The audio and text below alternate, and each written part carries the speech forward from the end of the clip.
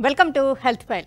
Breast cancer రొమ్ము cancer స్త్రీలలో బాగా లీడింగ్ క్యాన్సర్. ప్రతి పదమూడు నిమిషాలకు ఒక మహిళ మన దేశంలో ఈ క్యాన్సర్కి బలవుతుందంటే చాలా బాధాకరమైన విషయం. మరి బ్రెస్ట్ క్యాన్సర్లో రకాలేంటి? తొలి దశలో గుర్తించగలిగిన ఈ క్యాన్సర్ని ఎలాంటి కేర్ తోటి అవేర్నెస్ తోటి ముందుగా గుర్తించి ట్రీట్మెంట్స్ తీసుకోవచ్చు?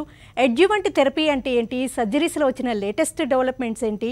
టార్గెటెడ్ పర్సనలైజ్డ్ థెరపీస్ వల్ల ఎలాంటి ఉపయోగాలు ఉంటున్నాయి బ్రెస్ట్ క్యాన్సర్కి హార్మోనల్ థెరపీ ఎప్పుడు అవసరం ఈ వివరాలన్నీ అందించడానికి ఒమేగా హాస్పిటల్స్ ప్రముఖ surgical oncologist doctor Chigurupati Mohan Vamsi గారు మనతో ఉన్నారు. ఆయన అడిగి మరిన్ని విషయాలు తెలుసుకుందాం. నమస్తే sir welcome to the show నమస్తే అండి. బ్రెస్ట్ క్యాన్సర్ అనేది బాగా లీడింగ్ క్యాన్సర్ కదండి ఉమెన్లో అంటే బ్రెస్ట్లో ఎన్నో హార్మోనల్ చేంజెస్ ఉంటుంటాయి ఎన్నో రకాల సిస్టులు ఉంటుంటాయి. చాలా వరకు ఎలాంటి వాటికి ఎక్కువగా కన్ఫ్యూజన్కి గురవుతున్నట్టుగా మీరు గమనిస్తూ ఉంటారు. మీరు అన్నట్టు breast cancer is the leading cancer అండి. ప్రపంచం మొత్తం మీద ఇయర్ ట్వంటీ ట్వంటీలో two million new breast cancer patients diagnose చేశారు. And about six hundred and twenty five thousand people breast cancer వల్ల చనిపోయారు. ప్రపంచం మొత్తం మీద ట్వంటీ ట్వంటీలో ప్రపంచం అంతా కూడా బ్రెస్ట్ క్యాన్సర్ ఇన్సిడెన్స్ ర్యాపిడ్గా పెరుగుతోంది. మిగతా క్యాన్సర్ ఇన్సిడెన్సెస్ తక్కువ అవుతున్నప్పటికీ లంగు కోలను కొంచెం కొంచెంగా తగ్గుతున్నాయి ప్రపంచం అంతా కూడా. ఈ ఒక్క బ్రెస్ట్ క్యాన్సర్ ఇన్సిడెన్స్ మాత్రం ర్యాపిడ్గా పెరిగిపోతుంది. భారతదేశంలో కూడా no exception and on average more than one lakh twenty thousand new breast cancer patients భారతదేశంలో ఇప్పుడు కనుగొనబడతాయని ఐసీఎంఆర్ వారి అంచనా. అండ్ మనం గుర్తుపెట్టుకోవాల్సింది ఏంటంటే ఈ ఈ అన్ని క్యాన్సర్స్ అంటే ఈ బ్రెస్ట్ క్యాన్సర్స్ ఈ one lakh twenty thousand new breast cancers అందరూ కూడా అర్బన్ ఏరియాస్లోనే ఎక్కువగా చూస్తున్నాం. Plus women who are well off అంటే ఆర్థికంగా బాగా ఉన్నత వర్గాలకు చెందిన వారి స్త్రీలలో ఈ బ్రెస్ట్ క్యాన్సర్ చాలా ఎక్కువగా కనబడుతుంది. ఈ బ్రెస్ట్లో అనేక రకాలైన మార్పులు వస్తుంటాయి. Breast is a dynamic organ నెలలో ఆ పీరియడ్స్ టైంలో బ్రెస్ట్లో మార్పులు జరుగుతూ ఉంటాయి. వయస్సు పైబడే కొలది బ్రెస్ట్లో కూడా మార్పులు జరుగుతుంటాయి. ఈ క్రమంలో అనేక రకాలైన చిన్న చిన్న గడ్డలు మనం బ్రెస్ట్లో నోటీస్ చేస్తుంటాం. పీరియడ్స్కి ముందు కూడా బ్రెస్ట్ కొంచెం లంపీగా ఉంటాయి. అందుకే సెల్ఫ్ ఎగ్జామినేషన్ ఎప్పుడు కూడా పీరియడ్స్ అయిపోయిన తర్వాత వన్ వీక్ తర్వాత చూసుకోమని సలహా ఇస్తుంటాం స్త్రీలందరికీ కూడా. అలాగే చిన్నపిల్లల్లో ఫైబ్రాయిడినోమాస్ అంటే చిన్న చిన్న నార్మల్ గడ్డలు అంటే బ్రెస్ట్ పెరుగుతున్న క్రమంలో చిన్న ఆబరేషన్ వల్ల ఈ ఫైబ్రాయిడినోమాస్ కూడా చూస్తుంటాము. అలాగే వయసు పైబడిన తర్వాత ముఖ్యంగా నలభై యాభై సంవత్సరాలు దాటిన తర్వాత మోస్ట్ ఆఫ్ ద లంప్స్ బ్రెస్ట్లో కనబడే lumps ninety percent of them cancerous లంప్సే ఉంటుంటాయండి. అందుకని వయసు పైబడుతున్న వారు స్త్రీలందరూ కూడా చాలా జాగ్రత్తగా రెగ్యులర్గా వారికిగా వారు పరీక్ష చేసుకుంటూ ఇలాంటి లంప్ ఏదైనా కనుక నోటీస్ చేసినట్టయితే వెంటనే దగ్గరలో ఉన్న వారి ఫ్యామిలీ ఫిజిషియన్ కలవటం చాలా ఇంపార్టెంట్ మీరు ఎప్పుడు చెప్తుంటారు సెల్ఫ్ ఎగ్జామినేషన్ తోటి చాలా వరకు గుర్తించగలము అంటుంటారు. అంటే ఆ సైజ్ అంటే వాళ్ళ ఎవరికి వాళ్ళు పరీక్ష చేసుకొని గుర్తించే స్టేజ్కే ఒక ఒక సైజు లంపు కొంచెం స్టేజ్ దాటడం అలా ఉండొచ్చు అంటారు? షూర్ తప్పనిసరిగా ఖచ్చితంగా. ఇప్పుడు ఉదాహరణకి ఆ క్యాన్సర్ యొక్క behaviour nobody knew nobody knows how it behaves కొన్ని క్యాన్సర్స్ చిన్నగా ఉన్నప్పటికీ బాగా చాలా అగ్రెసివ్గా బిహేవ్ చేస్తాయి. చిన్న one point two centimetre lump ఉంటుంది శరీరంలో ఇతర భాగాలకు పాకిపోయి ఉంటుంది. అయినప్పటికీ కూడా మనకుగా మనం చేసుకోవాల్సింది మనకుగా మనం తెలుసుకోవాల్సింది ఏంటంటే స్త్రీలు వారికిగా వారు వారి యొక్క శరీరము ముఖ్యంగా బ్రెస్ట్ మీద అవగాహన పెంచుకున్నట్టయితే డెఫినెట్గా ముందుగా కనుక్కోగలుగుతారు. ప్రతి స్త్రీ కూడా పీరియడ్స్ అయిపోయిన తర్వాత ఒక వారం తర్వాత రెగ్యులర్గా లెఫ్ట్ చెస్ట్ని రైట్ హ్యాండ్తోనూ రైట్ చెస్ట్ని లెఫ్ట్ హ్యాండ్తోనూ ఫ్లాట్ ఆఫ్ ద హ్యాండ్తో రెగ్యులర్గా సిస్టమేటిక్గా కనుక పరీక్ష చేసుకున్నట్టయితే వారి శరీరంలో వచ్చే ప్రతి చిన్న మార్పును కూడా వారు గమనించగలుగుతారు. ముఖ్యంగా స్నానం చేసేటప్పుడు సోప్ రాసుకున్న తర్వాత కనుక వారికి వారు చూసుకున్నట్టయితే సోపుతో రాసుకున్నప్పుడు అవి స్లిప్ అయ్యి చిన్న చిన్న లంప్స్ కూడా ఈజీగా తగులుతాయి. ఆ తర్వాత అయిపోయిన తర్వాత రూమ్కి వచ్చాక పడుకొని షోల్డర్ బ్లేడ్ కింద చిన్న పిల్లో పెట్టుకొని మళ్ళీ ఒకసారి ఎగ్జామిన్ చేసుకోవటం ద్వారా ఆ కింది పార్ట్లో ఉన్న బ్రెస్ట్లో ఉన్న లంప్స్ కూడా చాలా ఈజీగా ఐడెంటిఫై చేయగలుగుతారు.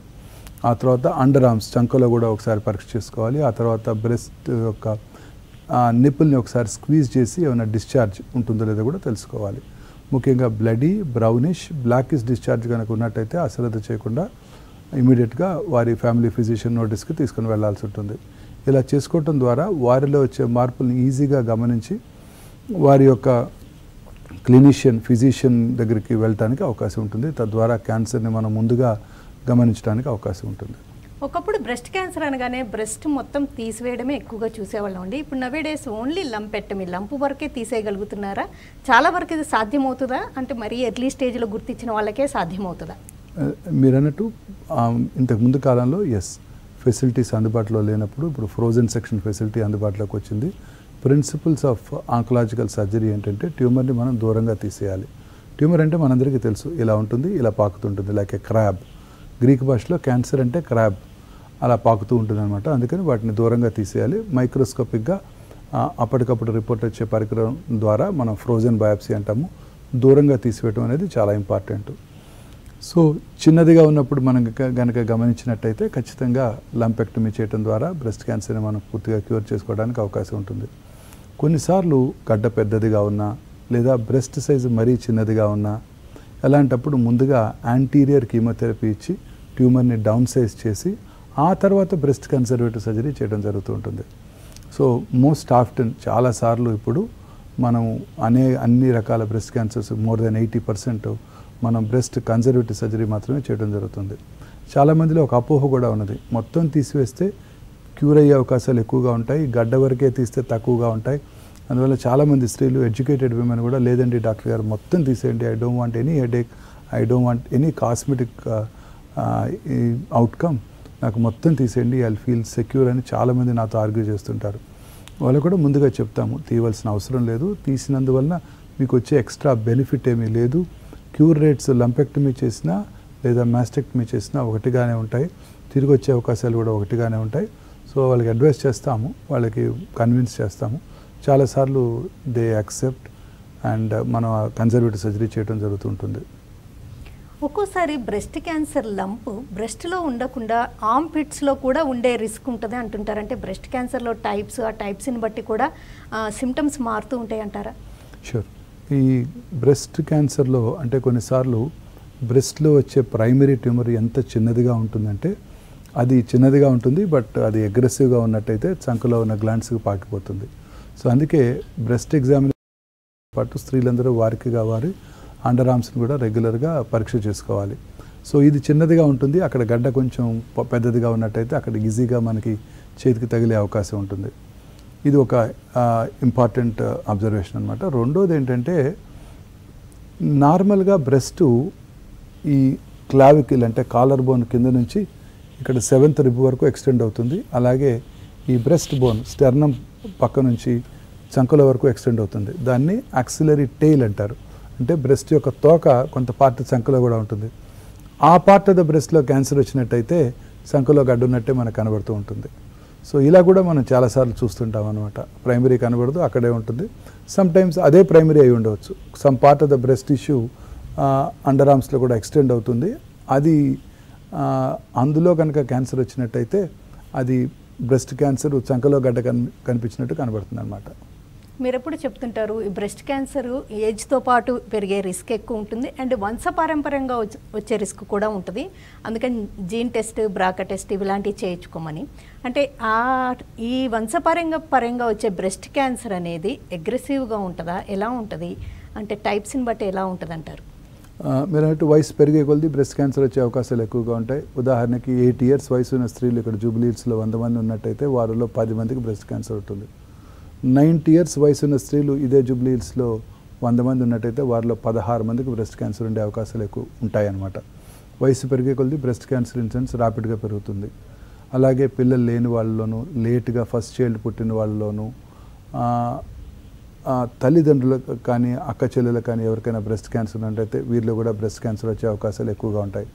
అలాగే ఒబీస్ ఉమెన్ ఊబకాయం ఎక్కువగా ఉన్న స్త్రీలలోనూ స్మోకింగ్ ఆల్కహాల్ రెగ్యులర్గా తీసుకునే స్త్రీలలోనూ అలాగే ఈ నైట్ షిఫ్ట్స్లో ఎక్కువ పనిచేసే వాళ్ళలోనూ ఈ సర్కేడియన్ రిథమ్ డిస్టర్బ్ అయినప్పుడు నైట్ షిఫ్ట్స్లో ఎక్కువగా పనిచేసే వాళ్ళలోనూ అల్ట్రావైలెట్ రేస్ ట్యూబ్ లైట్స్కి ఎక్కువ ఎక్స్పోజ్ అయ్యి నైట్ టైం ఎక్కువగా పనిచేసే వాళ్ళు కూడా ఈ బ్రెస్ట్ క్యాన్సర్ వచ్చే అవకాశాలు ఎక్కువగా ఉంటాయి.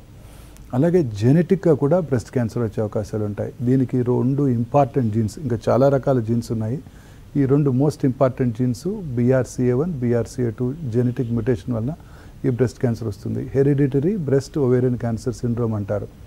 Famous personality Angelina Jolie. వారి మదర్కి ట్రిపుల్ నెగిటివ్ బ్రెస్ట్ క్యాన్సర్ ఉన్నది కాబట్టి వారు చిన్న వయసులోనే ఈ ఈ BRCA one BRCA two test చేయించుకొని వారికి అది పాజిటివ్గా ఉండటంతో చిన్న వయసులోనే థర్టీ సెవెన్ ఇయర్స్లోనే ట్వంటీ లెవెన్లోనే రెండు బ్రెస్ట్లు రెండు ఓవరీలు కూడా తీయించేసుకున్నారు. ఎందుకంటే ఆ సిండ్రోమ్లో బ్రెస్ట్ క్యాన్సర్ వచ్చే అవకాశాలు నూటికి నూరు శాతము ఓవేరియన్ క్యాన్సర్ వచ్చే అవకాశాలు వందకి అరవై మందికి.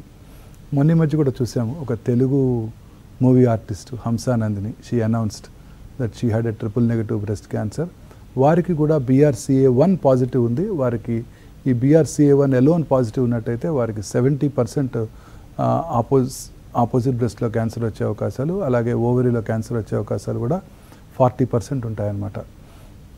సో ఈ జెనెటిక్ ప్రీడిస్పోజిషన్ ఉన్న వాళ్ళు చిన్న వయసులో బ్రెస్ట్ క్యాన్సర్ వచ్చినప్పుడు ముఖ్యంగా నలభై కన్నా చిన్న వయసులో బ్రెస్ట్ క్యాన్సర్ వచ్చినప్పుడు అలాగే ట్రిపుల్ నెగిటివ్ బ్రెస్ట్ క్యాన్సర్ వచ్చినప్పుడు ఫ్యామిలీలో ఒకరికన్నా ఎక్కువ మెంబర్స్కి ఇద్దరికి బ్రెస్ట్ క్యాన్సర్ కనుక ఉన్నట్టయితే లేదా ఫ్యామిలీలో ఒక పురుషుడికి కనుక బ్రెస్ట్ క్యాన్సర్ ఉన్నట్టయితే ఈ వీళ్ళందరూ కూడా మిగతా మెంబర్స్ అందరూ కూడా ఈ BRCA one BRCA two test చేయించుకోవటం ద్వారా వారికి అది ఎంతవరకు క్యాన్సర్ వచ్చే అవకాశాలు ఉంటాయనేది చాలా ఖచ్చితంగా చెప్పగలం అనమాట ఏజ్ మ్యారేజెస్ అంటే అసలు లాక్టేటింగ్ మదర్ కాకపోతే మదర్ పాలు ఇవ్వకపోతే కూడా బ్రెస్ట్ క్యాన్సర్కి గురయ్యే రిస్క్ ఉంటుంది అంటుంటారు. మ్యారేజెస్ లేట్ అవ్వడం అనేది అవెడేస్ కామన్ అయింది కొంతమంది ఏమో పాలు పడట్లేదు అనుకుంటూ ఉంటారు. వీటిలో ఎలాంటి ఫ్యాక్ట్స్ ఉన్నాయి? మీరు అన్నట్టు లేట్గా ఫస్ట్ చైల్డ్ పుడితే అంటే ఇప్పుడు అర్బన్ ఏరియాస్లో ఎడ్యుకేషన్ మీద కాన్సన్ట్రేట్ చేస్తూ కెరియర్ మీద కాన్సన్ట్రేట్ చేస్తూ లేట్గా ఫస్ట్ మ్యారేజ్ చేసుకోవటం మ్యారేజ్ అయిన తర్వాత కూడా ఫస్ట్ చైల్డ్ని లేట్గా పుట్టడం లేట్గా కనటంతో వాళ్ళలో ముప్పై ఏళ్ళు పైబడిన వాళ్ళు కనుక ఫస్ట్ ప్రెగ్నెన్సీ వచ్చినట్టయితే ఎయిటీన్ ఇయర్స్కే ఫస్ట్ ప్రెగ్నెన్సీ వచ్చిన స్త్రీతో కనుక కంపేర్ చేసుకున్నట్టయితే ఫైవ్ టైమ్స్ ఇంక్రీజ్డ్ రిస్క్ ఉంటుంది. అలాగే పిల్లలు లేని వాళ్ళు అలాగే పిల్లలకి పాలివ్వని తల్లుల్లో కూడా ఈ బ్రెస్ట్ క్యాన్సర్ వచ్చే అవకాశాలు ఎక్కువగా ఉంటాయి. సో దీనికి అనేక రకాలైన కారణాలు ఉన్నాయి. పాలు ఇవ్వకపోయినట్టయితే వాళ్ళకి అంటే లాక్టేషనల్ ఎమెనోరియా అంటారు. అంటే లాక్టేట్ లాక్టేషన్ చేస్తున్నప్పుడు అంటే పది నెలలు పదిహేను నెలలు కనుక పిల్లలకి పాలిస్తున్నట్టయితే వాళ్ళకి ఆ టైంలో పీరియడ్స్ జనరల్గా రావు. ఆ టైంలో వారికి ఆ ఈస్ట్రోజన్ పీక్ని అవాయిడ్ చేయగలుగుతారు. ఇది ఒక హైపాథసిస్. బట్ తప్పనిసరిగా ఒక ఇంపార్టెంట్ ఫ్యాక్ట్ ఏంటంటే పిల్లలు లేని వాళ్ళకి లేట్గా ఫస్ట్ చైల్డ్ పుట్టిన వాళ్ళకి పిల్లలకి పాలివని తల్లులకి కూడా బ్రెస్ట్ క్యాన్సర్ వచ్చే అవకాశాలు చాలా ఎక్కువగా ఉంటాయి. బ్రెస్ట్ క్యాన్సర్కి స్మోకింగ్కి సంబంధం ఉంటుందంటారు? ఎస్ డెఫినెట్గానండి స్మోకింగ్ అండ్ ఆల్కహాల్ రెండు కూడా. స్మోక్ చేసే స్త్రీలలో బ్రెస్ట్ క్యాన్సర్ వచ్చే అవకాశాలు చాలా చాలా ఎక్కువ. ఇతర దేశాల్లో ముఖ్యంగా వెస్ట్రన్ వరల్డ్లో ఉమెన్ మగవాళ్ళ కన్నా ఎక్కువగా స్మోక్ చేస్తున్నారు. వాళ్ళలో ఇప్పుడు అత్యధికంగా కనబడే క్యాన్సర్ బ్రెస్ట్ క్యాన్సర్. స్మోక్ చేసిన ఆరు సెకండ్స్లో దాంట్లో ఉన్న more than four hundred cancer కారక సబ్ పదార్థాలు వారి బ్లడ్లోకి వెళ్ళి బ్రెస్టే కాదు ఇంక్లూడింగ్ గర్భసంచి lungs స్వరపేటిక oral cavity stomach cancers urinary bladder cancers గర్భసంచి ముఖద్వార క్యాన్సర్ కూడా వాళ్ళలో ఎక్కువగా కనబడుతూ ఉంటుంది. అంటే ఇమాజిన్ చేయండి ఇక్కడ స్మోక్ చేసినట్టయితే ఆ టాక్సిన్స్ సర్విక్స్ దగ్గర ఎక్స్క్రీట్ చేయబడి అక్కడ కూడా క్యాన్సర్ కలగజేస్తుంది. అంత డేంజరస్ ఈ దురలవాటు ఈ టొబాకో స్మోకింగ్. అలాగే ఆల్కహాల్. ఆల్కహాల్ తీసుకునే స్త్రీల్లో బ్రెస్ట్ క్యాన్సర్ ఇన్సిడెన్స్ చాలా ఎక్కువగా ఉంటుంది. అమౌంట్ ఆఫ్ ఆల్కహాల్ అంటే రెగ్యులర్గా కన్జ్యూమ్ చేసే వాళ్ళకి రెగ్యులర్గా ఎక్సెస్ అమౌంట్స్ కన్జ్యూమ్ చేసే వాళ్ళలో ప్రపోర్షనేట్గా క్యాన్సర్ రిస్క్ పెరిగిపోతుంది. సో వీళ్ళందరూ కూడా జాగ్రత్తగా ఉండాలి. చాలా రెగ్యులర్గా వారికిగా వారు పరీక్ష చేసుకుంటూ అలాగే ఇతర బ్రెస్ట్ క్యాన్సర్ స్క్రీనింగ్ ప్రోగ్రామ్స్లో జాయిన్ అయ్యి క్యాన్సర్ రావటాన్ని ముందుగా గమనించుకున్నట్టయితే వాళ్ళకి క్యూర్ చేసుకోవడానికి అవకాశం ఉంటుంది. అలాగే జెనెటిక్ ప్రీడిస్పోజిషన్ ఉన్న వాళ్ళలో కూడా రిస్క్ తగ్గించుకోవడానికి అంటే BRC one BRC two positive ఉన్న వాళ్ళు రిస్క్ తగ్గించుకోవడానికి రిస్క్ రిడక్షన్ సర్జరీ తప్ప ఇంకా ఏ ఇతర చికిత్సలు ఉపయోగపడవు. అండ్ మీరు అన్నట్టు ఈ జెనెటిక్ ప్రీడిస్పోజిషన్ ఉన్న స్త్రీలలో ఇవన్నీ కూడా ట్రిపుల్ నెగిటివ్ బ్రెస్ట్ క్యాన్సర్స్ ఎక్కువగా కనబడుతుంటాయి. వాళ్ళలో క్యాన్సర్స్ చాలా ర్యాపిడ్గా పెరుగుతాయి. అంటే అగ్రెసివ్గా బిహేవ్ చేస్తాయి. చిన్నదిగా ఉన్నప్పుడే శరీరంలో ఇతర భాగాలకి పాకిపోయే అవకాశాలు ఎక్కువగా ఉంటాయి. ఓకే. సెల్ఫ్ ఎగ్జామినేషన్తో పాటు స్క్రీనింగ్ టెస్టులు ఏ ఏజ్లో చేయించుకుంటే మంచిది? ఎలాంటి టెస్టులు? ఎంత ఫ్రీక్వెంట్గా చేయించుకోవాలి? మోస్ట్ ఇంపార్టెంట్ సెల్ఫ్ ఎగ్జామినేషన్ రెండోది క్లినికల్ ఎగ్జామినేషన్ పోయే ట్రైన్డ్ పర్సనల్ అంటే ట్రైన్డ్ నర్స్ కావచ్చు లేదా ఆబ్సెట్రిషియన్ గైనకాలజిస్ట్ కావచ్చు సర్జన్ కావచ్చు ఫిజిషియన్ కావచ్చు. సో సంవత్సరానికి ఒకసారి ట్రైన్డ్ పర్సనల్తో కనుక బ్రెస్ట్ని ఎగ్జామిన్ చేస్తూ చేయించుకుంటూ అలాగే వారు చేస్తున్నప్పుడు అబ్జర్వ్ చేసి ఎలా పరీక్ష చేసుకోవాలో తెలుసుకోవటం కూడా వెరీ ఇంపార్టెంట్ మూడోది అండ్ మోస్ట్ ఇంపార్టెంట్ మ్యామోగ్రఫీ దీని మీద చాలా కాంట్రవర్సీస్ ఉన్నాయి. మ్యామోగ్రఫీ వలన రేడియేషన్ ఎక్స్పోజర్ ఎక్కువగా ఉంటుంది. దానివల్ల క్యాన్సర్ వచ్చే అవకాశాలు ఎక్కువగా ఉంటాయని స్త్రీలు కూడా నాతో చాలామంది అడుగుతూ ఉంటారు. ఇది పూర్తిగా అవగాహన లోపము. థర్టీ ఇయర్స్ నుంచి సెవెంటీ ఇయర్స్ వరకు సంవత్సరానికి ఒకసారి కన్వెన్షనల్ మ్యామోగ్రఫీ చేయించుకుంటే పది లక్షల మందికి ఇరవై మందికి బ్రెస్ట్ క్యాన్సర్ వచ్చే అవకాశం ఉంటుంది. దట్స్ నెగ్లిజిబుల్ అమౌంట్ అప్పుడు ఇప్పుడు కొత్తగా వచ్చిన డిజిటల్ మ్యామోగ్రఫీ మెషిన్స్లో రేడియేషన్ ఎక్స్పోజర్ చాలా తక్కువగా ఉంటుంది. మ్యాగ్నిఫైడ్ కోన్ డౌన్ వ్యూస్ తీసుకోవడానికి రెండోసారి మ్యామోగ్రఫీ పరీక్ష చేయనవసరం లేదు. దీంట్లో ఇన్బిల్ట్ సెన్సార్స్తోనూ ఫీచర్స్తో మనము magnified view with press of a button తీసుకోవడానికి అవకాశం ఉంది. ఇప్పుడు కొత్తగా త్రీ డైమెన్షనల్ డిజిటల్ మ్యామోగ్రఫీ కూడా అందుబాటులోకి వచ్చింది. ఇందులో మ్యామోగ్రఫీ గ్యాంట్రీ బ్రెస్ట్ చుట్టూ షార్ట్ రో యాక్సెస్లో రొటేషన్ చేస్తూ అనేక మల్టిపుల్ రేడియోగ్రామ్స్ తీసుకొని అది ఒక పవర్ఫుల్ కంప్యూటరు దాన్ని ఇమేజ్ని కంప్యూట్ చేసి మనకు అందిస్తుంది అనమాట అంటే ప్రతి లేయర్ ఆఫ్ బ్రెస్ట్ని కూడా రేడియాలజిస్ట్ చూడటానికి అవకాశం ఏర్పడింది. తద్వారా ఫాల్స్ పాజిటివ్స్ ఫాల్స్ నెగటివ్స్ పూర్తిగా తగ్గించడానికి when compare to the two D mammography అవకాశం ఏర్పడింది. ఇవన్నీ కూడా ఇప్పుడు మనకి హైదరాబాద్లో అందుబాటులో ఉన్నాయి. వీటి ద్వారా అతి తక్కువ రేడియేషన్తో మనం మ్యామోగ్రఫీ చేయించుకోవచ్చు. తద్వారా even two to three millimetre lump బ్రెస్ట్లో dense బ్రెస్ట్లో ఉన్నా కూడా ఐడెంటిఫై చేయడానికి అవకాశం ఉంది. కొన్నిసార్లు మరీ బ్రెస్ట్ డెన్స్గా ఉండి ఫ్యాట్ టిష్యూ తక్కువగా ఉండి లేదా కొంతమంది స్త్రీలకు ఆల్రెడీ ఇంప్లాంట్ కనుక ఉన్నట్టయితే బ్రెస్ట్ ఆగ్మెంటేషన్ కోసం చాలామంది పెట్టించుకుంటూ ఉంటారు. ఆర్ స్కార్డ్ బ్రెస్ట్ అంటే ఇంతకుముందు చిన్నప్పుడు ఫైబ్రాయిడ్ నమ్మకో ఇతరత్ర యాప్సెస్కో సర్జరీలు చేయించుకున్నప్పుడు మ్యామోగ్రఫీ కనుక యాక్యురేట్గా భావి కన అనిపించకపోయినట్టయితే ఎంఆర్ మ్యామోగ్రఫీ అంటే ఎంఆర్ఐతో మ్యామోగ్రఫీ చేయటం విత్ డైనమిక్ కాంట్రాస్ట్ చేయటం ద్వారా వీళ్ళలో ఎటువంటి రేడియేషన్ ఎక్స్పోజర్ లేకుండా చిన్న చిన్న lumps two to three millimetre లంప్ను కూడా చాలా ఈజీగా ఐడెంటిఫై చేసుకోవడానికి అవకాశం ఉంటుంది. అంటే కొంచెం ఫ్యామిలీ హిస్టరీ జెనెటిక్ టెండెన్సీ ఉన్నవాళ్ళు ఇలాంటి బ్రెస్ట్ కాస్మెటిక్ సర్జరీస్ ఏవి చేయించుకోకుండా ఉంటే బెటర్ అంటారా? అంటే కొంతవరకు వాళ్ళకి ఎప్పుడు ఎంఆర్ మ్యామోగ్రఫీ ఇలాంటివి చేయించడం రిస్క్ కదా? ఎంఆర్ మ్యామోగ్రాము రేడియో అల్ట్రాసౌండ్తో వాళ్ళకు కూడా ఈజీగా ఐడెంటిఫై చేయవచ్చు. ఓకే బ్రెస్ట్ బ్రెస్ట్ క్యాన్సర్ ట్రీట్మెంట్లో సర్జరీ తీసుకుంటే ఇంక లేటెస్ట్ డెవలప్మెంట్స్ నవేడేస్ ఎలాంటివి చోటు చేసుకుంది? మనం ఇంతకుముందు డిస్కస్ చేసినట్టు lumpectomy is the main stay of treatment for most cancers ఈ లంపెక్టమీ చేసిన తర్వాత కూడా ఆ డిఫెక్ట్ కనబడకుండా ఉండటానికి మనము వాల్యూమ్ డిస్ప్లేస్మెంట్ వాల్యూమ్ రిప్లేస్మెంట్ దీన్నే ఆంకోప్లాస్టిక్ బ్రెస్ట్ సర్జరీ అంటారు. ఆంకోప్లాస్టిక్ బ్రెస్ట్ సర్జరీ అంటే combining the principles of plastic cosmetic surgery but at the same time oncological principles అంటే ట్యూమర్ని దూరంగా తీయటం అలాంటి ప్రిన్సిపల్స్ని కాంప్రమైజ్ అవ్వకుండా చేయటాన్నే ఆంకోప్లాస్టిక్ బ్రెస్ట్ సర్జరీ అంటారు. వాల్యూమ్ డిస్ప్లేస్మెంట్ అంటే ఎక్కడైతే మనం లంపెక్టమీ చేస్తామో ఆ పార్ట్ ఆబ్వియస్లీ ఆపరేషన్ అయిన తర్వాత మళ్ళీ సూచర్ చేసినట్టయితే కొంచెం పకరింగు కాస్మెటిక్ డిస్ఫిగర్మెంట్ ఉంటాయి. వాటిని అవాయిడ్ చేయడానికి పక్కన ఉన్న నార్మల్ ఫ్యాట్ బ్రెస్ట్ ఫ్యాట్ని అక్కడికి డిస్ప్లేస్ చేయడం జరుగుతుంది. దీన్ని వాల్యూమ్ డిస్ప్లేస్మెంట్ అంటారు. లార్జ్ బ్రెస్ట్ ఉన్న వాళ్ళు ఇది చాలా ఈజీగా చేయడానికి అవకాశం ఉంటుంది. అదే కొన్నిసార్లు డిఫెక్ట్ కనుక పెద్దదిగా ఉన్నట్టయితే లేదా బ్రెస్ట్ సైజ్ కనుక చిన్నదిగా ఉన్నట్టయితే వాళ్ళకి వాల్యూమ్ రిప్లేస్మెంట్ చేయడం జరుగుతుంది. వాల్యూమ్ రిప్లేస్మెంట్ చేయటం అంటే మనకి మన వెనకాల అందరికీ మనందరికీ కూడా లాటిస్మస్ డోర్సే అనే ఒక మజిల్ ఉంది. అది క్లైంబర్స్కి ఎక్కువగా ఉపయోగపడుతుంది. అదర్వైజ్ నార్మల్గా మిగతా వాళ్ళకి అది పెద్దగా యూస్ఫుల్ మజిల్ కాదు. స్త్రీలందరికీ కూడా వాళ్ళు ఇన్నర్స్ వేసుకున్నప్పుడు వాళ్ళకి వెనకాల ఒక చిన్న మార్క్ ఉంటుంది. ఆ మార్క్లో చిన్న స్కార్ చేసి ఆ లాటిస్మస్ డోర్సే మజిల్ని మొబిలైజ్ చేసి దాన్ని అక్కడ నుంచి చంకలోంచి ఇక్కడ తీసుకొచ్చి ఇక్కడ రిప్లేస్ చేయడం ద్వారా ఈ ఏదైతే సర్జికల్ డిఫెక్ట్ మన లంపెక్టమీ చేసిన డిఫెక్ట్ని ఆ డిఫెక్ట్ దాంతో ఫిల్ చేయటం ద్వారా LD filling latissimus dorsi filling అంటారు. ఎల్డి ఫిలిన్ ఆ డిఫెక్ట్ని మనం ఈ వాల్యూమ్ రిప్లేస్మెంట్తో ఫిల్ చేస్తున్నాం అనమాట తద్వారా వాళ్ళకి ఎటువంటి కాస్మెటిక్ డిస్ఫిగర్మెంట్ లేకుండా చేయడానికి అవకాశం ఉంది. అలాగే అండర్ చేసే సర్జరీ ఇప్పుడు ఇంతకుముందు అండర్ ఆర్మ్లో మనం యాక్సిలరీ లింఫ్ గ్లాండ్స్ అన్ని కూడా తీసివేయడం జరిగేది. ఇప్పుడు సెంటెనల్ నోడ్ బయాప్సీ అంటే ఏదైతే గ్లాండ్ ఫస్ట్ లెవెల్లో అది ఇన్వాల్వ్ అవుతుందో ఆ గ్లాండ్ని ఐడెంటిఫై చేసి radioactive gamma detection systems ఉంటాయి.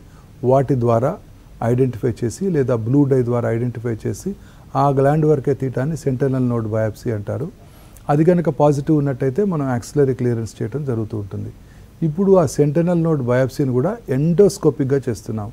అంటే అండర్ ఆమ్లో హెయిర్ బేరింగ్ ఏరియాలో చిన్న ఫైవ్ ఎంఎం ఘాట్లు మూడు పెట్టి ఒక camera port right hand left hand working పోర్ట్తో మనము ఎండోస్కోపిక్ సెంటనల్ నోడ్ హార్వెస్టింగు అలాగే అవసరమైతే ఎండోస్కోపిక్ యాక్సిలరీ క్లియరెన్స్ కూడా చేయడం జరుగుతుంది.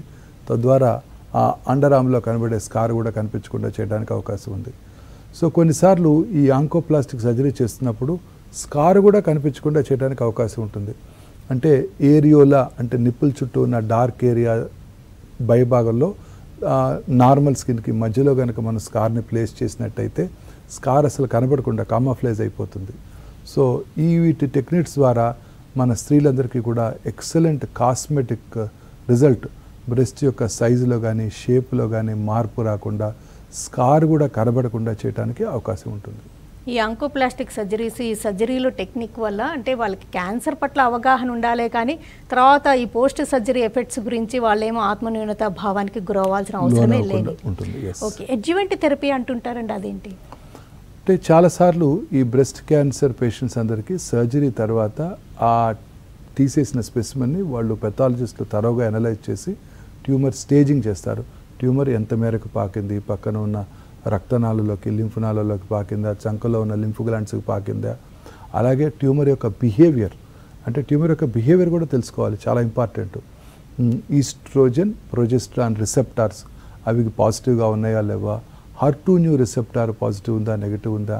ప్రాలిఫరేటివ్ ఇండెక్స్ ఎలా ఉంది? వీటన్నిటినీ కూడా మనం కన్సిడర్ చేసి ఈ పేషెంట్కి క్యాన్సర్ తిరిగి వచ్చే అవకాశాలు ఎంత ఉంటాయని మన ఇన్స్టిట్యూషనల్ ట్యూమర్ బోర్డులో డిస్కస్ చేసి ఆ క్యాన్సర్ తిరిగి వచ్చే అవకాశాలు ఎక్కువగా ఉన్నట్టయితే వాళ్ళకి ఫర్దర్గా కీమోథెరపీ రేడియోథెరపీ హార్మోన్ థెరపీ అలాగే ట్రాస్టుజుమాబ్ హర్సెప్టీన్ థెరపీ కూడా ఇవ్వటం జరుగుతూ ఉంటుంది. కొన్నిసార్లు చాలా ఎర్లీగా ఉన్నట్టయితే మనకి కీమోథెరపీ ఇవ్వాలా వద్దా అని నిర్ణయం తీసుకోవాల్సినట్టయితే ఆంకోటైప్ డిఎక్స్ అనే ఒక స్పెషలైజ్డ్ టెస్ట్ చేయడం ద్వారా జెనెటిక్ టెస్ట్ చేయడం ద్వారా కీమోథెరపీ ఇవ్వటం వల్ల ఈ పేషెంట్కి ఎటువంటి బెనిఫిట్ ఏమైనా ఉంటుందా? లేదా హార్మోన్ థెరపీ వరకే సరిపోతుందా? ఇవన్నీ కూడా మనకి యాంకోటైప్ డిఎక్స్ టెస్ట్లో తెలుస్తాయన్నమాట. సో ఒకవేళ తిరిగి వచ్చే అవకాశాలు ఎక్కువగా ఉన్నట్టయితే ఈ అన్నిటినీ కనుక మనం పరిగణనలోకి తీసుకొని వాళ్ళకి అడ్జువెంట్ అంటే ట్యూ సర్జరీ అయిపోయిన తర్వాత కీమోథెరపీ అలాగే radiotherapy hormone therapy trastuzumab therapy ఇవ్వటం జరుగుతూ ఉంటుంది. అంటే ఇప్పుడు ఈ రోజుల్లో ఎక్కువగా గమనిస్తే హార్మోన్ థెరపీ అవసరమైన ఆ, టైపే ఎక్కువగా గమనిస్తున్నారా? చిన్న వయసులో వచ్చిన బ్రెస్ట్ క్యాన్సర్స్ అంటే ఇరవై నుంచి నలభై మధ్యకాలంలో వచ్చిన స్త్రీలలో జనరల్గా హార్మోన్ రిసెప్టార్స్ నెగిటివ్గా ఉంటాయి ట్యూమర్స్ చాలా అగ్రెసివ్గా బిహేవ్ చేస్తుంటాయి. పోస్ట్ మెనోపాజల్ ఉమెన్లో పీరియడ్స్ అయిపోయిన తర్వాత వచ్చే స్త్రీలలో వచ్చే బ్రెస్ట్ క్యాన్సర్స్లో వందకు డెబ్బై ఎనభై మందికి హార్మోన్ రిసెప్టార్స్ పాజిటివ్గా ఉంటాయి అవి చాలా స్లోగా పెరుగుతుంటాయి. వారు గనక అర్లీగా డయాగ్నోస్ చేసినట్టయితే వాళ్ళకి మీరు అన్నట్టు హార్మోన్ థెరపీ మాత్రమే ఇవ్వటం ద్వారా మనము ఈ క్యాన్సర్ని క్యూర్ చేసుకోవడానికి అవకాశం ఉంటుంది. ఈ అలాగే చాలాసార్లు ఈ బ్రెస్ట్ కన్జర్వేటివ్ సర్జరీ చేసినప్పుడు మనము అడ్జువెంట్ రేడియోథెరపీ కూడా ఇవ్వాల్సి ఉంటుంది. Either we remove the whole breast or lumpectomy వరకు చేస్తే మిగతా బ్రెస్ట్లో క్యాన్సర్ రాకుండా చేయడానికి ఇంటాక్ట్ బ్రెస్ట్ ఇరేడియేషన్ ఇవ్వవలసి ఉంటుంది. ఈ మధ్యకాలంలో ఇంతకు ముందులాగా ఈ radiation thirty to forty days ఇవ్వకుండా జస్ట్ త్రీ టు ఫైవ్ డేస్లో ఇచ్చే సైబర్ నైఫ్ పరికరం కూడా ఇప్పుడు అందుబాటులోకి వచ్చింది. ఎక్కడైతే క్యాన్సర్ వచ్చిందో అక్కడ ఆపరేషన్ చేస్తున్నప్పుడే చిన్న టైటానియం క్లిప్స్తో దాన్ని మార్క్ చేయడం జరుగుతుంది దాని ఎడ్జెస్ని ఆ తర్వాత సర్జరీ అయిపోయిన తర్వాత just about three to five days treatment రోజుకు ఒక పది నిమిషాలు ట్రీట్మెంట్ ఇవ్వటం ద్వారా ఈ ఈ రేడియేషన్ కూడా ఇంతకు ముందులాగా థర్టీ టు ఫార్టీ డేస్ లేకుండా త్రీ టు ఫైవ్ డేస్లోనే కంప్లీట్ చేయడానికి కూడా అవకాశం ఏర్పడింది. ఈ సైబర్ నైఫ్ చికిత్స ద్వారా మనం రేడియేషన్ ఇచ్చినప్పుడు బ్రెస్ట్ యొక్క కన్సిస్టెన్సీ అంటే ఎటు మామూలుగా రేడియేషన్ ఇచ్చినప్పుడు స్కిన్ చేంజెస్ వస్తాయి కొంతవరకు. ఫేర్గా ఉన్న స్త్రీలలో వాళ్ళకి డార్కెనింగ్ కావచ్చు. ఆబ్వియస్గా ఆపోజిట్ బ్రెస్ట్తో కంపేర్ చేసినట్టయితే ఈ రేడియేషన్ తీసుకున్న సైడ్ చాలా డార్క్గా ఉండొచ్చు. అలాగే కన్సిస్టెన్సీ బ్రెస్ట్ కొంచెం గట్టి పడుతుంది. ఈ రేడియేషన్ ట్రెడిషనల్ రేడియేషన్ తీసుకున్నప్పుడు ఎఫెక్ట్ లేకుండా ఇవ్వగలుగుతారు ఇవ్వగలుగుతాం హార్ట్ మీద కూడా ఎఫెక్ట్ లేకుండా ఇవ్వగలుగుతాం. కన్సిస్టెన్సీలో కానీ కలర్లో కానీ మార్పు లేకుండా మనం ఇవ్వడానికి అవకాశం ఉంటుంది. అంటే ఈ సర్జరీ కీమోథెరపీ హార్మోన్ థెరపీ లేదా ఈ రేడియేషన్ నెంబర్ ఆఫ్ టైమ్స్ ఇవన్నీ ఎవరికి వాళ్ళకి పర్సనలైజ్డ్గా టార్గెటెడ్గా ఇవ్వడమే నవేడేస్ లేటెస్ట్గా మీరు అందిస్తున్న ట్రీట్మెంట్స్. ఓకేనండి డాక్టర్ మోహన్ వంశీ గారు. బ్రెస్ట్ క్యాన్సర్ అసలు వచ్చే రిస్క్ ఎవరిలో ఉంటుంది? ఎలా ఎర్లీగా గుర్తించగలరు?